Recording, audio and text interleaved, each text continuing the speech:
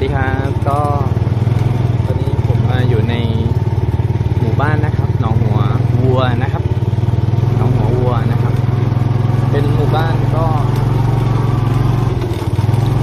ไม่ได้ไม่ได้เล็กก็ไม่ได้ใหญ่มากนะครับ ก็ประมาณร้อยกว่าหลังคาเรือนได้นะครับ แต่สิ่งที่น่าทึ่งก็คือว่าถนน ถนนดีมาก ๆ เลยนะครับ ถนนสวยงามมากนะครับอันนี้ก็เป็นบรรยากาศในรอบ ๆ ด้านนะครับ ในหมู่บ้านนะครับ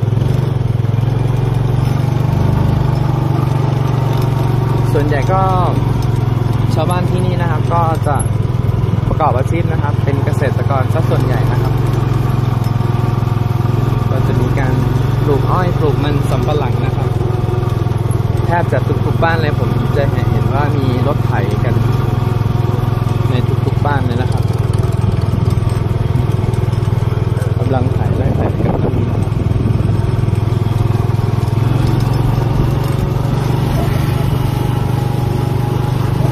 ถนนดีมาก ๆ เลยนะครับ ในหมู่บ้าน ระหว่างทางก็จะเก็บภาพบรรยากาศนะครับของ ไร่อ้อยนะครับ ให้ได้รับชมกันด้วยนะครับ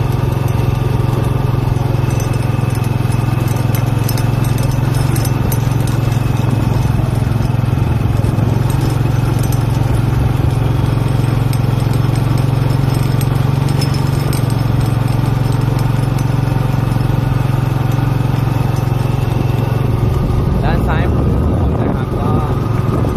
ตัวนี้ก็เป็นการเตรียมหน้าดินนะครับ ไม่แน่ใจว่าจะลงอ้อยหรือว่าลงมันสำปะหลังนะฮะ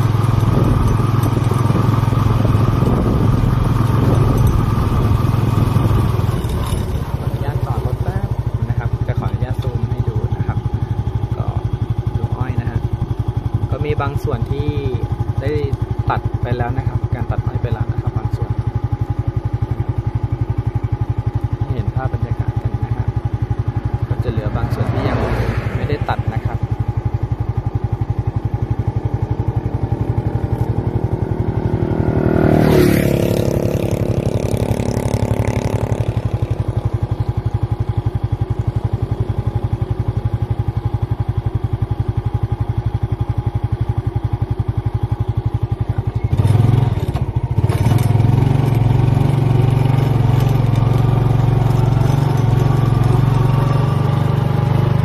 ฝั่งด้านนี้ ก็เช่นเดียวกันนะครับ มีการจัดเตรียมหน้าดินเอาไว้นะครับ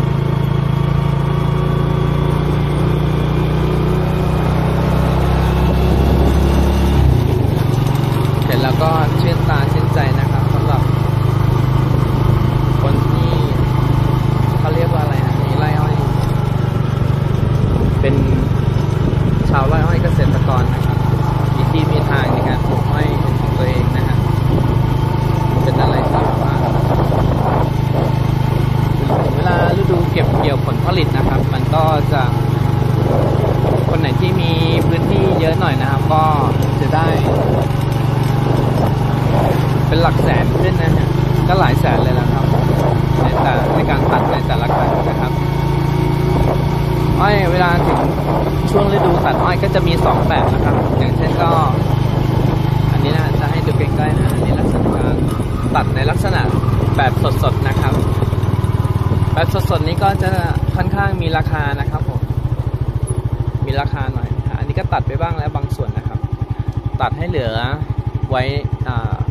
ให้ให้เหลือตอเอาไว้บ้างนะครับ เพราะว่าการปลูกอ้อยครั้งหนึ่งนะฮะก็จะสามารถเก็บเกี่ยวได้ในปีละ 3 ครั้งนะครับ ขึ้นอยู่กับการดูแลรักษาด้วยนะครับผมนะครับอันนี้เป็นอ้อยแบบสดนะฮะ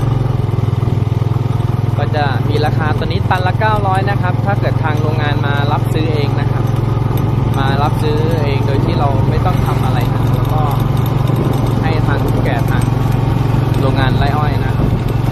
ำตาลมารับซื้อแล้วก็มาตัดเองครับผมก็จะได้ตันละ 900 นะครับ